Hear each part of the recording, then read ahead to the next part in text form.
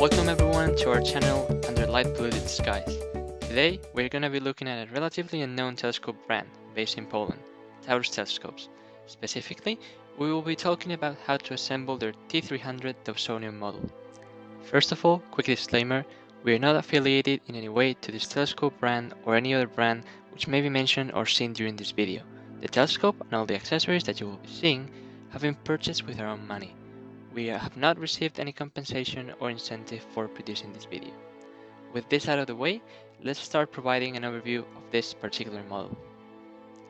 The T300 is a 12-inch reflector on a Dobsonian mount with a truss tube structure and, as an optional accessory, altitude and azimuth encoders for its digital setting circle system, allowing us to use the telescope as a push-to system for locating objects in the sky. We will be making another video on how to use this system in the near future. The focal length of this telescope is 1500 mm, so with an aperture of 305 mm, it is an f5 scope. It comes with a Crayford style dual speed focuser as a standard. However, it does not come with any finder scope by default. You can order it separately or use one of your taste, as it comes with a pretty standard dovetail attachment. The brand is offering this model as its entry level, they produce much larger apertures up to 24 inches or even custom models up to 30 inches at the time of recording this video. Additionally, they offer two different mirror qualities, standard and professional, which differ in terms of reflective capacity and accuracy of the mirror's parabola.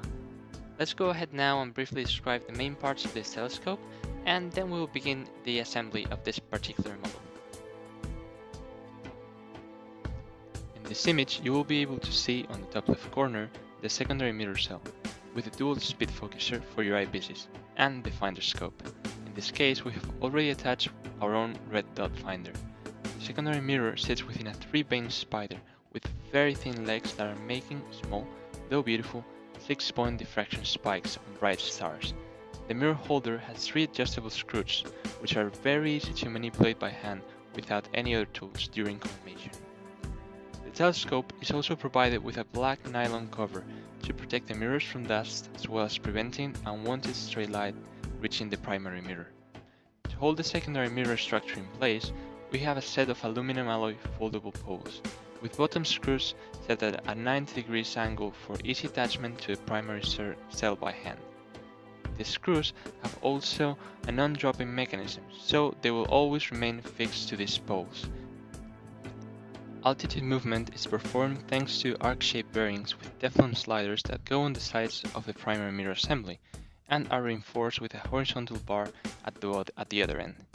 The most important part of any reflector telescope is, of course, the primary mirror. It is placed into a wooden and aluminum alloy structure floating on top of 9 adjustment points in the back. A very handy feature is that the three collimation screws are accessible from the top of the assembly. The mirror itself is protected from dust and any damage by a wooden cover. We strongly recommend to keep it in place at all times and remove it only when you're fully ready to go observing. Lastly, the base structure to hold everything in place is made of wood and aluminum. It will hold the altitude bearings as well as a vertical bar which supports the altitude encoder for the optional push-to system. The entire setup is actually very lightweight for its size, weighing in about 15.9 kilograms or 35 pounds.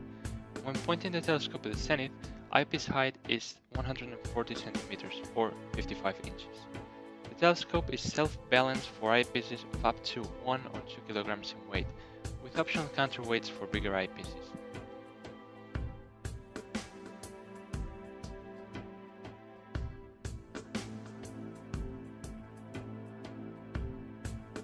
Let's go ahead now and start the assembly of the telescope.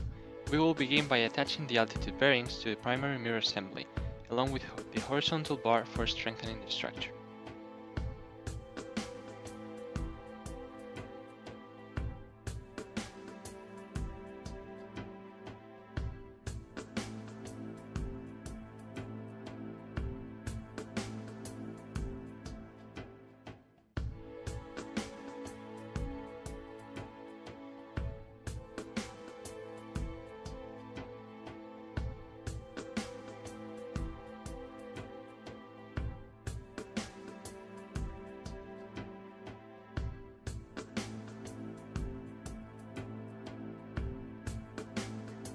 Once secure, the whole assembly is put on top of the base.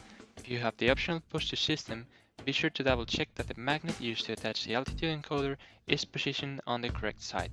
Make sure that the mirror assembly can freely rotate in both axes smoothly.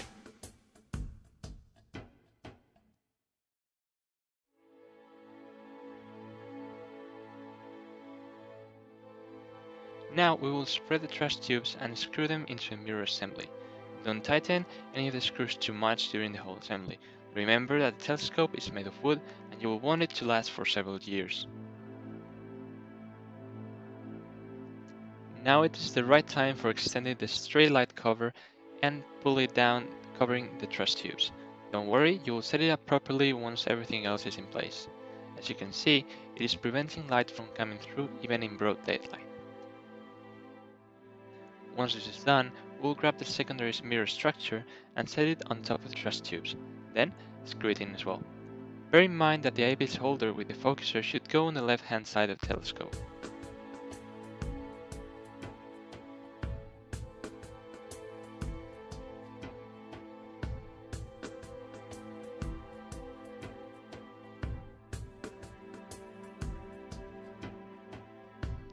Now you can extend the nylon cover to reach both ends of the telescope, stretch the adjusting strings, and your basic telescope is set up and ready for observation.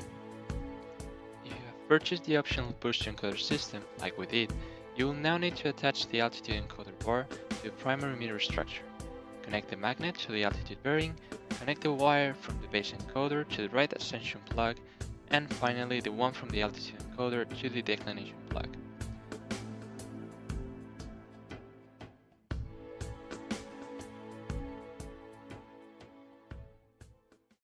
Congratulations, you are now ready to go and start observing with this beautiful piece of kit. Remember that there will be another video detailing the usage of the optional push encoder system for your reference. Thank you very much for watching this, this video.